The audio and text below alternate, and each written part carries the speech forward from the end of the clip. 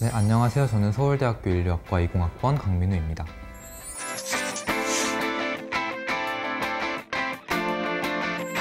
네, 일단 고등학교 공부의 경우에는 고등학교 내신이든 수능이든 각 과목에 할당된 공부량이 굉장히 많습니다. 그렇기 때문에 이렇게 많은 공부량들을 어, 한 주에 얼만큼 할 것인지를 미리 계획을 하고 또 그것이 이제 쌓여가는 점, 점차 누적되어가는 그런 과정이 필요하다고 볼 수 있는데 플래너가 없을 경우에는 이렇게 1년 동안 해야 하는 많은 공부량을 체계적으로 정리하기가 힘들다고 생각해서 저는 플래너를 쓰는 습관이 어떤 장기적인 공부 습관에 있어서 반드시 필요하다고 생각합니다.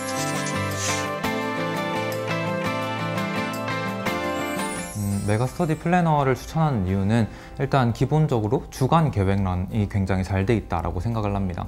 다른 플래너와는 다르게 어, 주간 어떤 주간 플래너 자체가 4장에 걸쳐서 굉장히 짧은 면수만으로도 주간 계획을 확인할 수 있도록 구조화되어 있기 때문에 어떤 지면의 효율성도 굉장히 좋다고 생각합니다. 한 주가 자신의 공부량을 되돌아보고 또 그 다음 주의 공부량을 계획하는 데 있어서 굉장히 중요한 기점이라고 생각하기 때문에 메가스터디 플래너에서 각 과목을 옆에 적어두고 그 과목의 공부량이 어느 정도인지 어떤 교재로 공부를 해야 하는지를 정리할 수 있기 때문에 주간 계획란이 가장 중요하다고 생각합니다.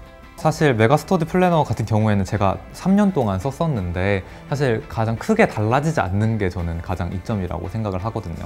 그래서 다른 어떤 회사의 플래너랑 다르게 아까 말씀드렸다시피 이렇게 4장만으로도 플래너가 다 주간 계획을 볼 수가 있기 때문에 이 점이 굉장히 좋다라고 생각을 하고 어, 또 이렇게 월간 계획란이 가장 먼저 나오고 그 다음에 맨 앞에 주간 계획을 쓰게 돼 있고 그 다음에 일간 계획이 나오거든요. 그래서 이렇게 돼 있는 구조 자체가 어, 플래너를 처음 쓰는 친구들 같은 경우에는 자기가 계획을 만드는 습관을 구조화하는데 굉장히 도움이 많이 될 것 같습니다.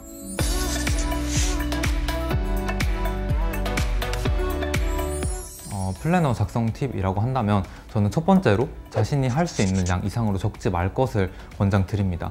플래너 같은 경우에는 플랜의 어기 때문에 자신이 할 양을 자랑하기 위해서 하는 것이 아니라 자신이 실제로 할 수 있을 만큼만 적어야 효율성이 있다고 생각하기 때문에 플래너를 적을 때는 반드시 자신이 할 수 있을 만큼의 양만을 적고 또 그것을 실천하는 과정을 계속 꾸준히 반복했을 때 자신이 어떤 어, 자신이 세운 계획을 직접 지키는 그런 습관을 기를 수 있다고 생각합니다.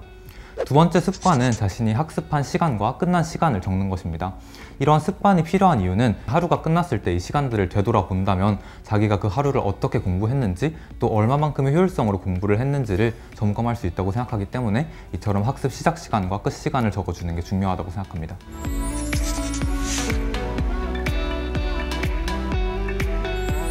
저에게 메가스터디 플래너란 저는 근본이라고 생각을 하고요.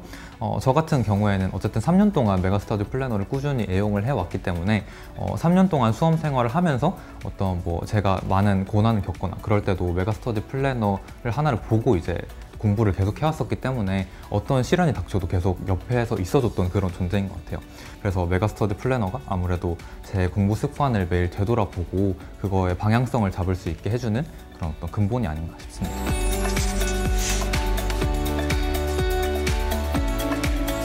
수험생들께 드리고 싶은 말은 일단 고등학교 공부의 경우에는 어쨌든 장기전이고 내신이든 수능이든 굉장히 오랜 시간 동안 공부를 버텨야 하는 그런 여정이기 때문에 저는 어, 자신의 계획을 구조화를 하고 또 이를 반드시 실천하는 그런 습관을 길러주는 플래너가 반드시 필요하다라고 생각을 합니다. 그래서 앞으로 메가스터디 플래너를 이용하시면서 자신의 어떤 학습 습관을 되돌아보고 또 자신의 앞으로 나아갈 방향성을 계획하는 그런 어, 보다 효율적인 수험 생활이 되셨으면 좋겠습니다.